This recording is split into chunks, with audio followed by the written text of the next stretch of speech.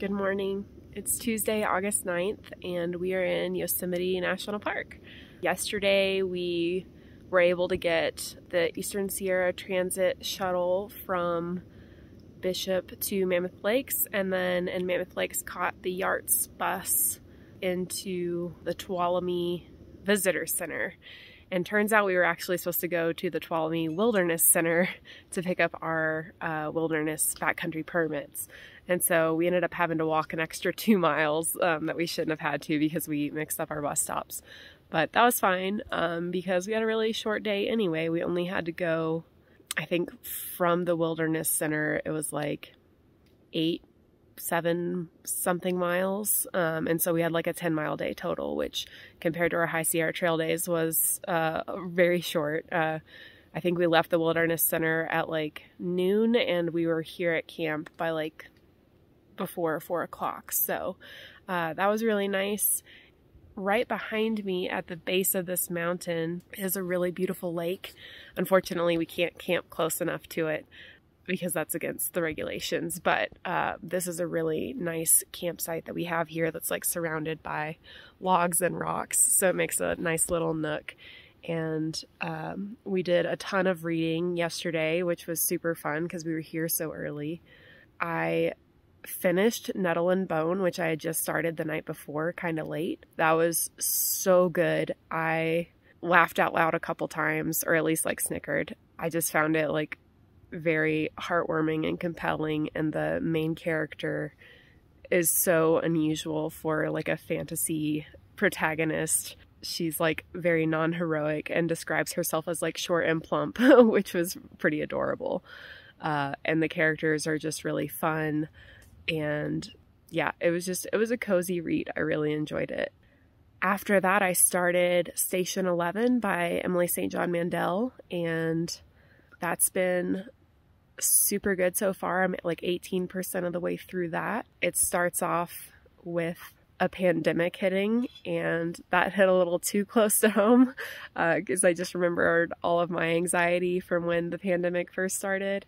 Uh, of course, the pandemic in this book is like very much worse than COVID because it causes like a post apocalyptic type of book, but um, yeah, it's been it's been really interesting so far, so I'm excited to continue reading that later today. Michael is making breakfast. We're having oatmeal this morning, and he's been reading uh, Warhammer books this whole trip, but just last night started on the Expanse series, which we're going to be doing a book club style video about after we get home from vacation. So I really want to talk to him about that, but I can't because we're saving it for the book club discussion. So today we're hiking to a lake and it's called Mer Merced Lake or Mer Merced Lake? Merced. Merced. We're hiking to Merced Lake, which is only like seven miles from here. So it's going to be another short day. And I think our, almost our whole hike is going to be downhill. So we'll have plenty more time to read this evening.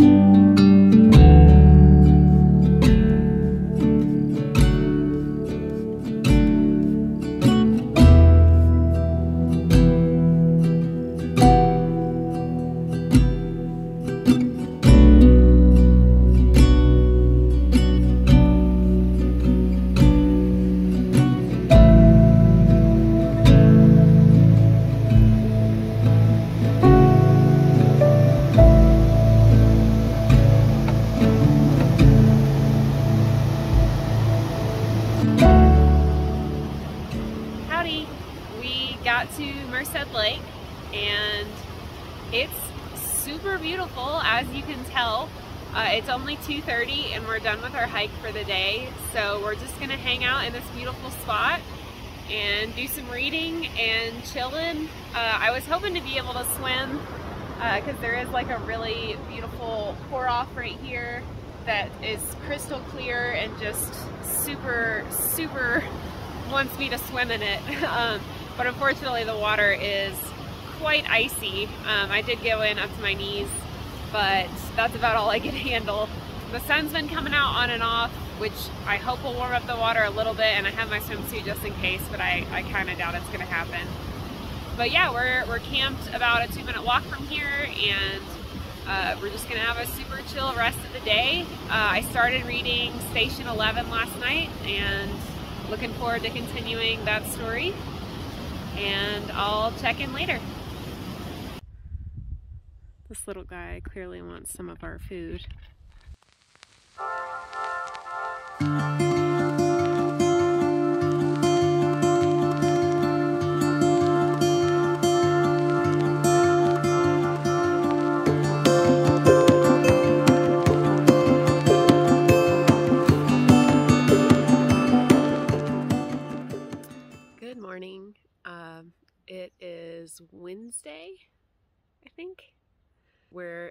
Yosemite. Um, yesterday we hiked from Vogelsang to Merced Lake. Merced Lake is where we are right now.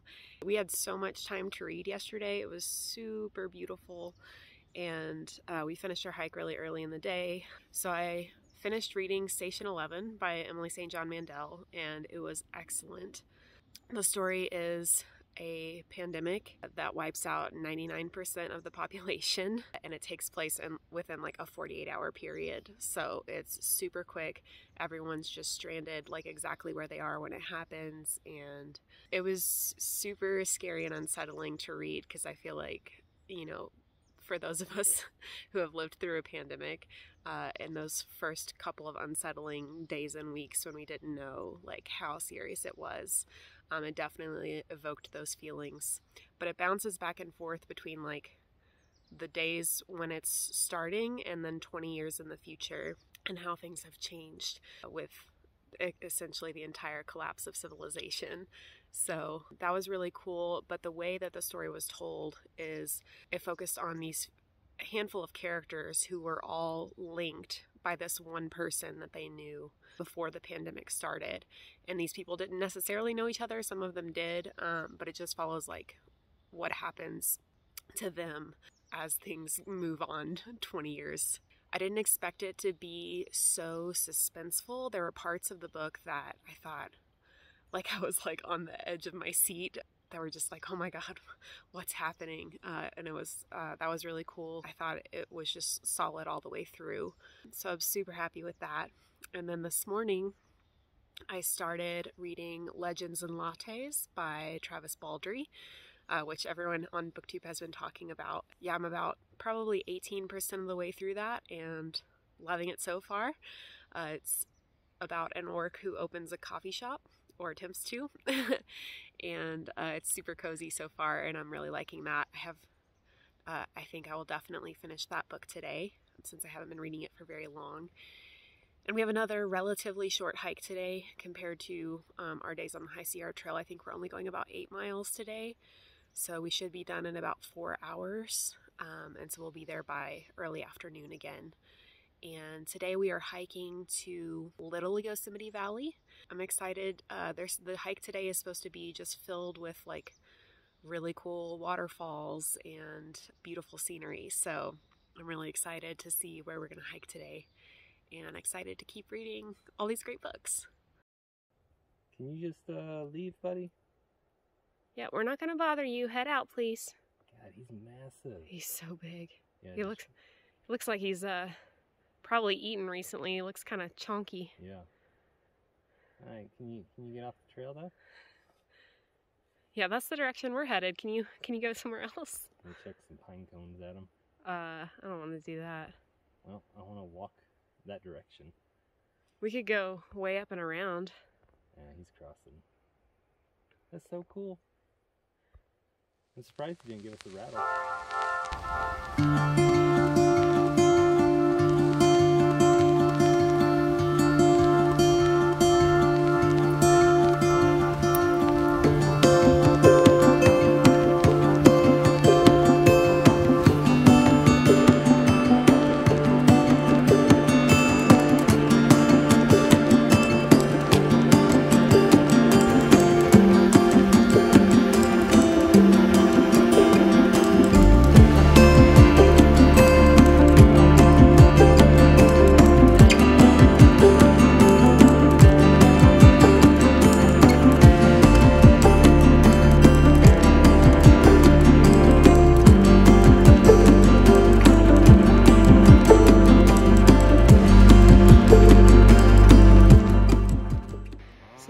Rattlesnake coming right at us.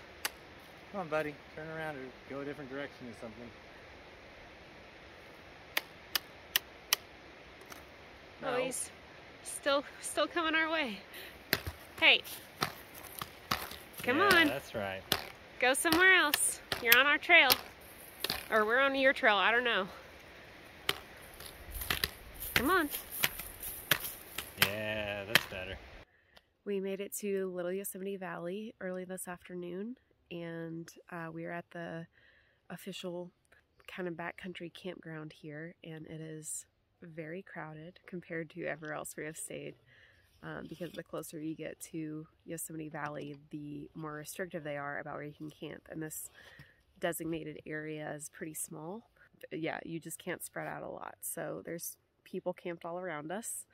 Um, and I imagine that tomorrow night when we are camped in Yosemite Valley, it will probably be a whole different level. But that's fine. Um, we're having a great time. I finished reading Legends and Lattes about 10 minutes ago. It was delightful. Uh, I enjoyed it very much and I'm intrigued to see what I'm going to read next because I have a few other things on my Kindle, but I did not expect to be doing this much reading on this trip. So uh, I didn't pack any more like vacation specific books, um, but I have I have plenty of other things to choose from. So that'll be really fun. And uh, tomorrow morning we're getting up pretty early and we're gonna hike Half Dome, and then we'll head down into Yosemite Valley. Tomorrow will be our last full day in Yosemite. We're getting ready to climb Half Dome. We've actually been on the trail for over an hour already, but uh, you can see right here, there's some people coming down. That'll be our steepest section. I don't know if you can see them or not. I'll zoom in. Those little tiny dots are people. so that'll be us a little bit.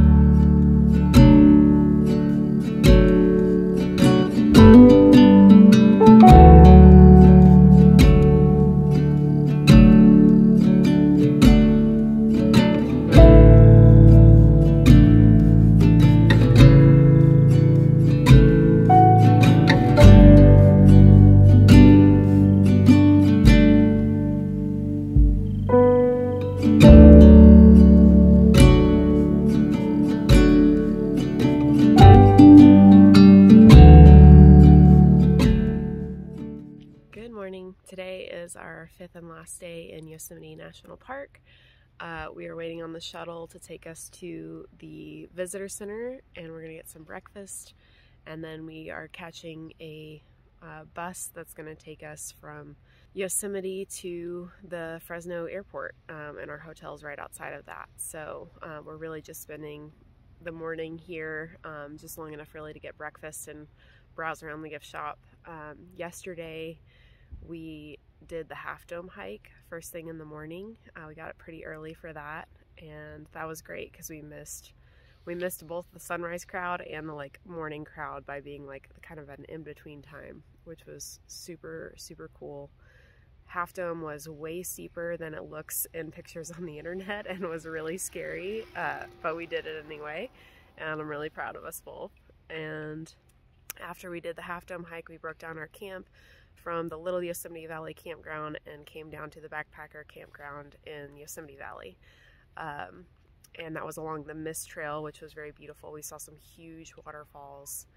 Uh, and I think overall we did maybe like 12 miles yesterday, which was longer than we expected because I think we ended up on the wrong path for about a mile and a half.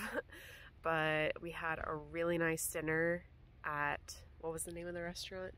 The Mountain Room we had a super fancy dinner because it was kind of our last night of vacation in the parks. So that was delicious.